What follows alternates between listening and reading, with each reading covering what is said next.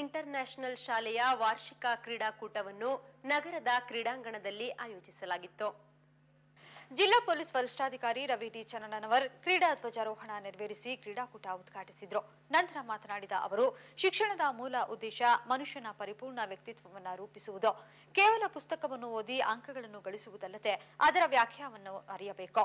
ದೇಶಪ್ರೇಮ ನಮ್ಮಲ್ಲಿ ಬೆಳೆದು ಪ್ರಸ್ತುತ ದೇಶದ ವ್ಯವಸ್ಥೆಯನ್ನು ವಿಶ್ಲೇಷಣೆ ಮಾಡಬೇಕು. ಇಲ್ಲವಾದಲ್ಲಿ ಶಿಕ್ಷಣವನ್ನು ಪಡೆಯುವುದು ವ್ಯರ್ಥ ಎಂದರು. ನಾವು ಕಲಿಯುವ ಶಿಕ್ಷಣದ ಜೊತೆಗೆ ಕ್ರೀಡೆಯು ಶಿಕ್ಷಣದಷ್ಟೇ ಅವಶ್ಯಕವಾದದ್ದು. ಕ್ರೀಡೆ ಎಂಬುದು ಮನುಷ್ಯನ ದೈಹಿಕ ಬಲಕ್ಕೆ ಅತಿ ಪೂರಕವಾಗಿದ್ದು, ಕ್ರೀಡೆಗಳಲ್ಲಿ ವಿದ್ಯಾರ್ಥಿಗಳು ಹೆಚ್ಚು ಪಾಲ್ಗೊಳ್ಳಬೇಕೆಂದರು. ದೇಶದ ಅವಸ್ಥೆಯನ್ನ ವಿಶ್ಲೇಷಣೆ ಮಾಡುವ ಜವಾಬ್ದಾರಿ ನಮ್ಮ ಮೇಲೆ ಬರದೇ ಹೋದಲ್ಲಿ ಅದು ವ್ಯರ್ಥ.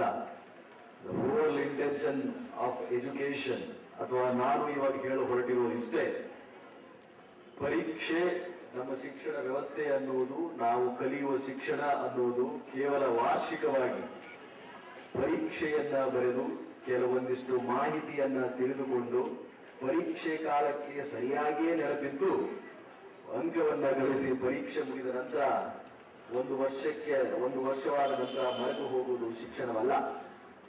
ಆ ಕಾರಣದಿಂದ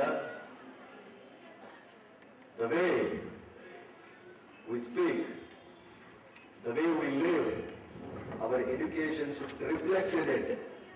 ನಾವು ಕಲಿತ ಶಿಕ್ಷಣ ನಮ್ಮ ದಿನನಿತ್ಯದ ಬದುಕಲ್ಲಿ whatever field we may choose in future ನಾವು ಮುಂದಿನ ಬದುಕಿನಲ್ಲಿ ಯಾವುದೇ ಕ್ಷೇತ್ರವನ್ನು ಆಯ್ದುಕೊಂಡರೂ ಕೂಡ ಅದರಲ್ಲಿ ನಾವು ಕಲಿತ ಶಿಕ್ಷಣದ ಆ ಇಳುಕು ಅನ್ನುವುದು the result it should be reflective in the way of our life ಆಟೋಟ ಸ್ಪರ್ಧೆ ಅನ್ನುವುದು ಮನುಷ್ಯನ ಸರ್ವಾಂಗೀಣ ಅಭಿವೃದ್ಧಿಗೆ, ದೈಹಿಕ ಬಲಕ್ಕೆ, ಬದುಕಿನ ಉಳಿ- ಉಳಿದ ಅವಧಿಯಲ್ಲಿ ಇನ್ನಿತರೆ ಕೆಲಸ ಕಾರ್ಯಗಳನ್ನು ಮಾಡಲಿಕ್ಕೆ ಅತಿ ಪೂರಕ ಈ ಸಂದರ್ಭದಲ್ಲಿ ಶಾಲೆಯ ಪ್ರಾಂಶುಪಾಲ ಜೋಶ್ವಾ ಪ್ರೇಮ್ ಸ್ವರೂಪ್, ಜಮ್ಮು ಕಿಡ್ಸ್ ಪ್ರಾಂಶುಪಾಲರಾದ ಪ್ರೀತಿ ಮೋಹನ್, ಸುರೇಂದ್ರನಾಥ್, ಹಿರಿಯ ಆಡಳಿತಾಧಿಕಾರಿ ರಾಜಶೇಖರ್, ಕ್ರೀಡಾ ನಿರ್ದೇಶಕ ಮಹೇಶ್ ಮುಂತಾದವರು ಹಾಜರಿದ್ದರು.